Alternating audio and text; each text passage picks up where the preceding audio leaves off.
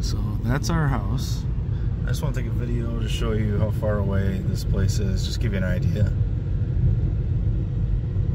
Um, it's about, I don't know, a thousand feet down the road.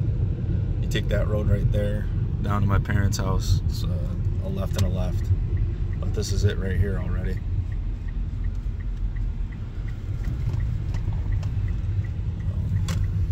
It's technically a trailer park. They don't even call it a trailer park because some houses are permanent in here. It's more, they just call it Rainbow Park.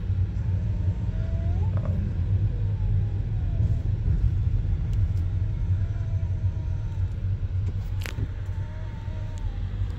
I think there's four speed bumps before you get to the back.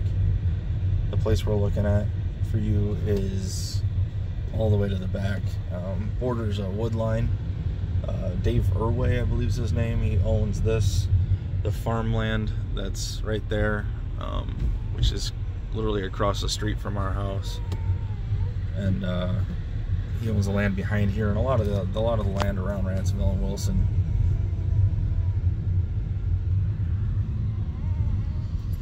Pretty much everything in Western New York looks like crap right now, just because it's been raining for since the snow melt, so nobody's even been able to maintain their lawn or get out there to do much yard work, even though the days have been kind of nice.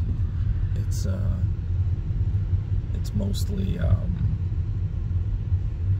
it's mostly just swampy out in the, the lawn. It's just too saturated to do anything. You see a lot of this, people that can mow like half their lawn and then the other half is just too wet. But that's been the last couple years up here. So we're getting back. It's a big uh, horseshoe, and then the the sides of the horseshoe are connected with uh, side roads or middle roads, I should say. Uh, as we round the corner, right in the middle is the house that's for sale. Right there with the truck at it.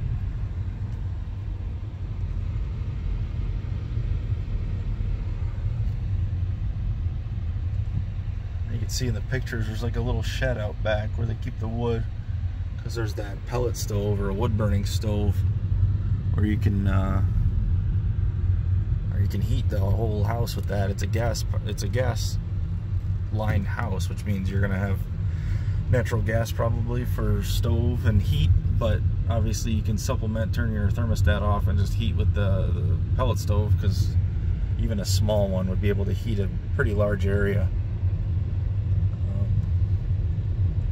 I don't know, it's about a thousand feet to, from the back to the front, and then a thousand feet to our house. So, I don't know, was that about a little over a quarter mile, a little over a half mile, maybe?